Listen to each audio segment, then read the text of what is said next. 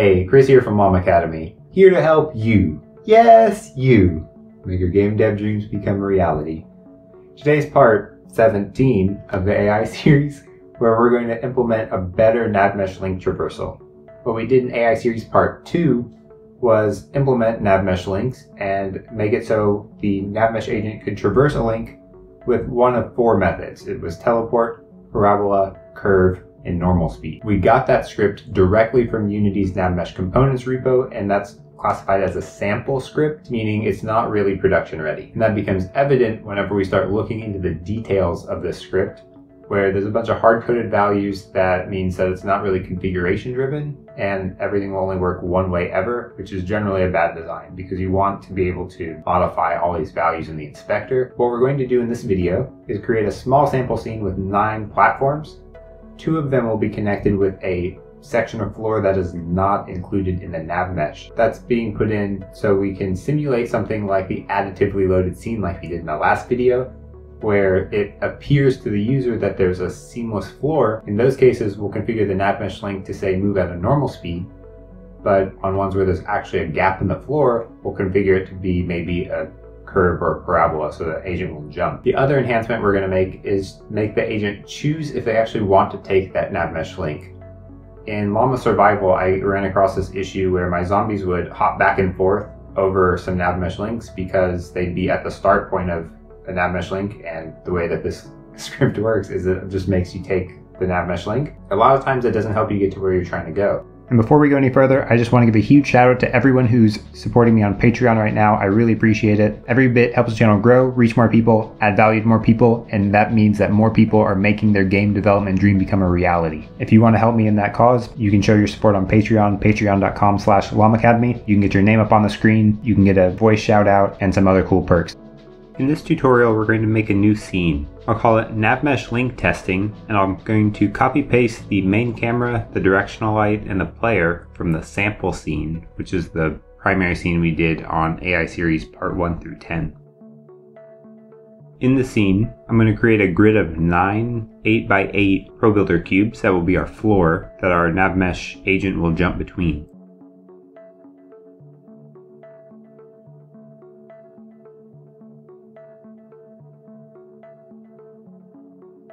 I'll also use the ProBuilder vertex colors to color them this blackish color. Between the floor sections on the right of the player, I'm going to put in a ProBuilder cube that's a blue color that I'm going to call a fake floor. I'm doing this because sometimes you want your NavMesh agent to cross a NavMesh link without doing a hop. Like for example, if you've connected two scenes additively, like we did in the last video, and there's actually no jump to go from one NavMesh to the other, and you want your NavMesh agent to more seamlessly go from one to the next NavMesh. But then we have some cases where we do want the NavMesh agent to hop over a hole, which is going to be the rest of the level. I'll then create a NavMesh link that spans the whole width of these floor sections. So that's a width of 8, and I'll have the start point be negative 1z and the end point be positive 1z. I'll select the world geometry and attach a NavMesh surface. That's the agent type of player. I'll collect objects children and leave everything else the same. If I bake that, we see that there is a hole between all of the floor sections, even though we have those two fake floors. I'm going to just duplicate this NavMesh link and rotate it so they go over all the holes and over the fake floors. And over the fake floors, I'm going to change the area type be walkable and all the other ones will be area type jump. I've also set the cost modifier on all of these to be 1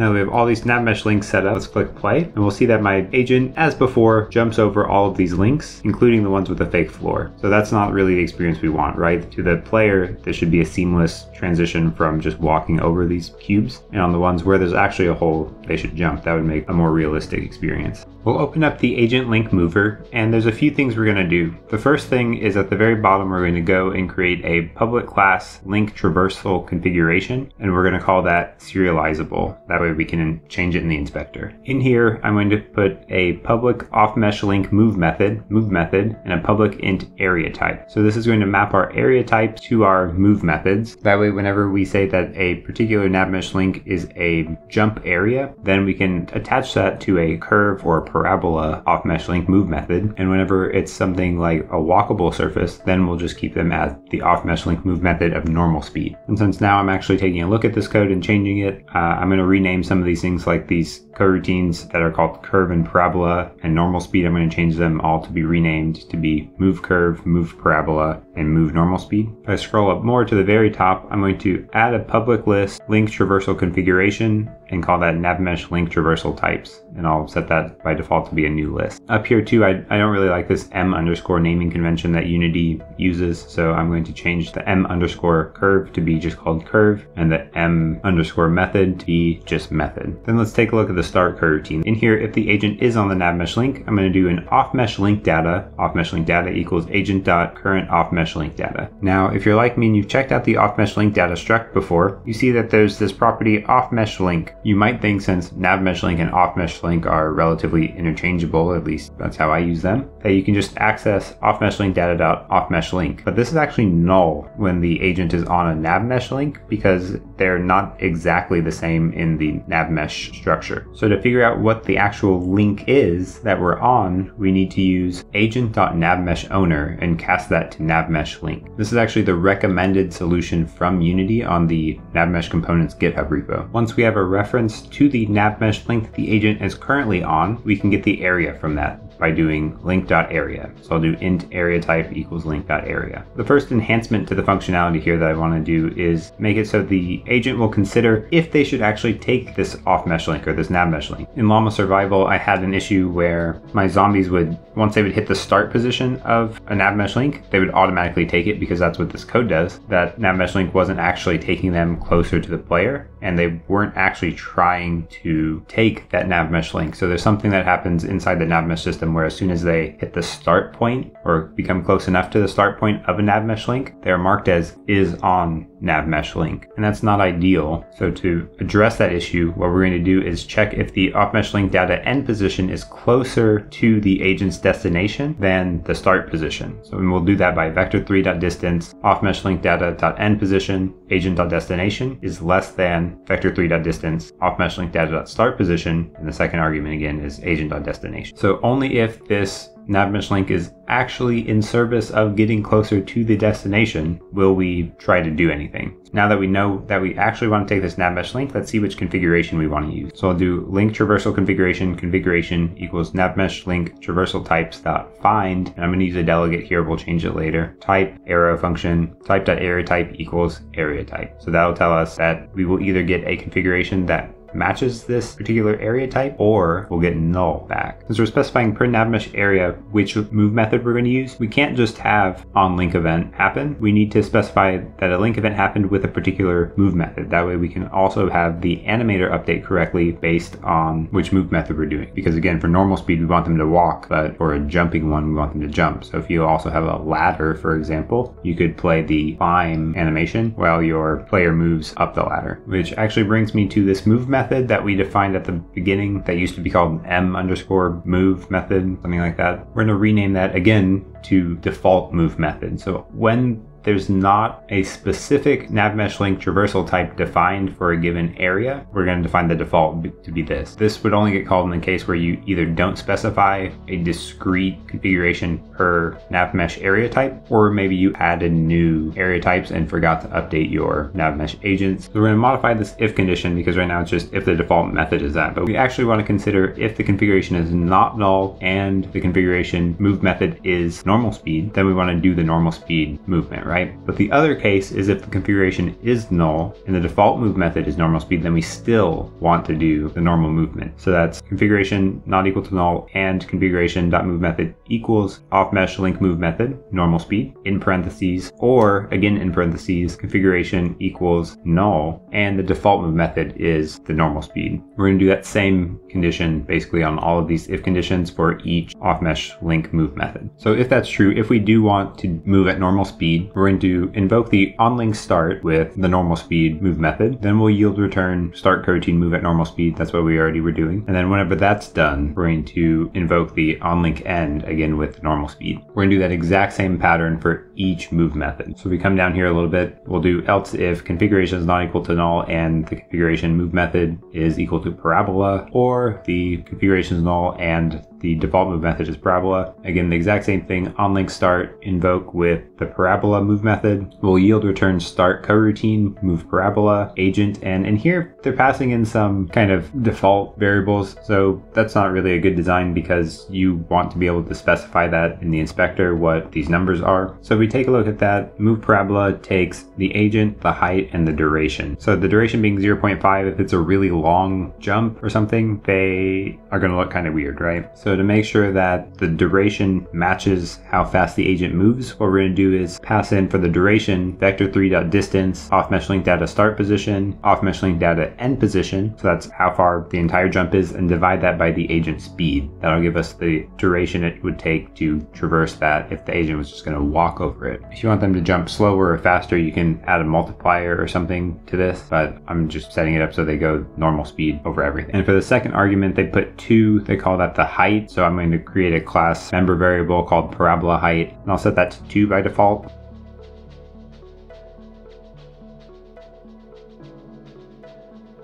But you know, actually, if we look at move parabola, they inside this while loop put height times 4. So I'll set the parabola height to be 8 and remove this extra 4 multiplier that's kind of hidden in here. And then we'll head back to our primary loop and continue our replacement of these if conditions to do the same one. I'm not going to repeat it again for the curve. And in here we will again invoke onLink start and onLink end with the curve move method.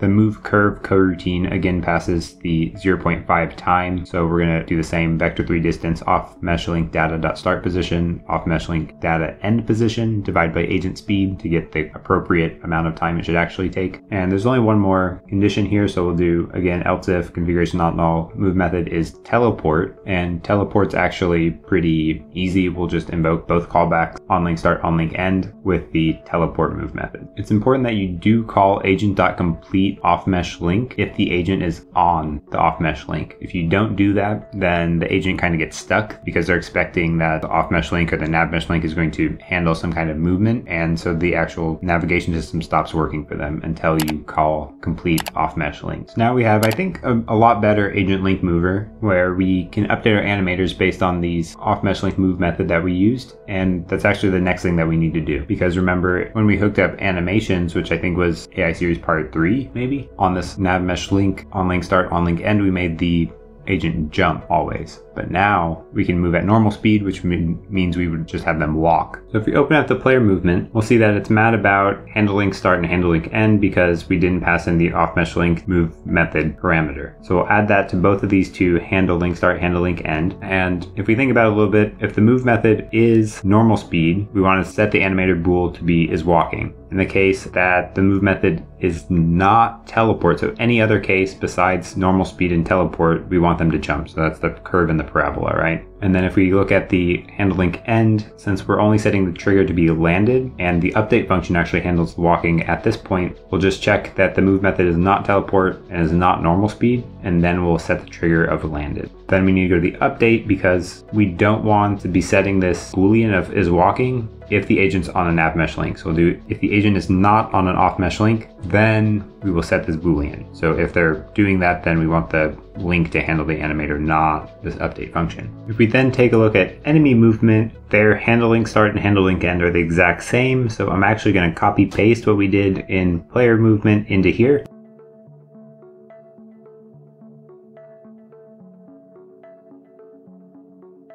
And then if we take a look at update, we have the same thing happening here. So we'll check if the agent is not on an off mesh link, then we'll set the animator boolean is walking to be if the agent velocity magnitude is greater than 0.01. If we hop back to the Unity editor, I'll set the default curve to be kind of aggressive so we can tell the difference between that and the parabola. I'll make it where you pretty quickly get to max height and then you stay there for a little bit and then you come back down. I'll then set up two nav mesh link traversal types. The first one will set up to be the normal speed movement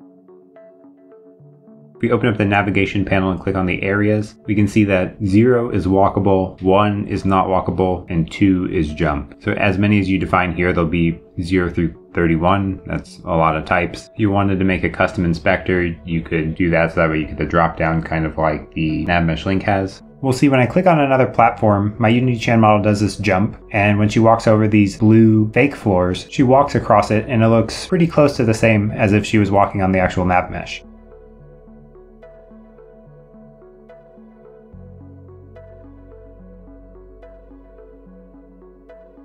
We can of course change these at runtime to use the parabola, for example, for the jump, and it does not impact walking over the fake floor.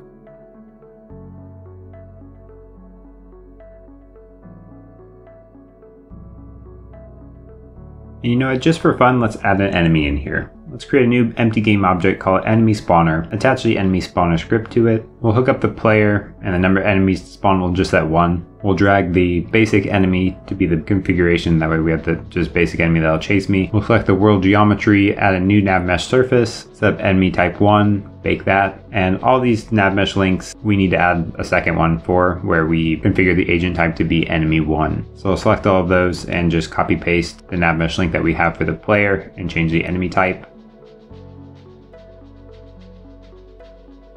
We'll also set up the enemy to have their agent link mover configuration to be the same as the player.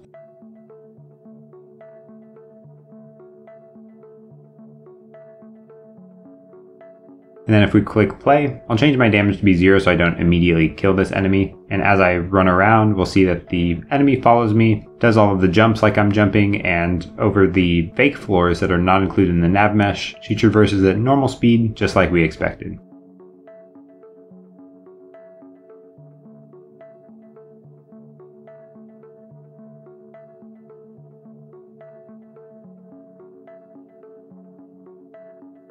I hope you got a lot of value out of today's video and you understand how to better configure your NavMesh agents to traverse the NavMesh links.